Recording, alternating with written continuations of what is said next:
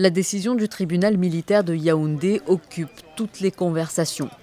Dans la nuit de mardi à mercredi, et après deux semaines de garde à vue, Maurice Kamto, principal opposant politique du Cameroun, a été inculpé et transféré en prison en compagnie de 26 autres de ses partisans.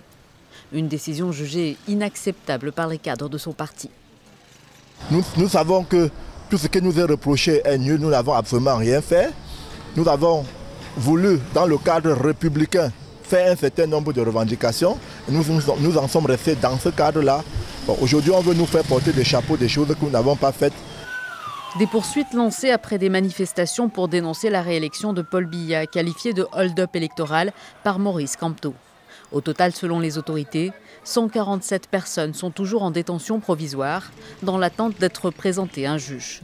Les défenseurs des droits de l'homme dénoncent une atteinte aux libertés fondamentales. Il faut libérer tout ce monde-là. Il faut que le Cameroun respecte ses engagements internationaux, surtout relatifs aux libertés fondamentales. Le droit à la liberté d'association, de manifestation, d'expression, d'opinion, ce sont des, libertés fondamentales.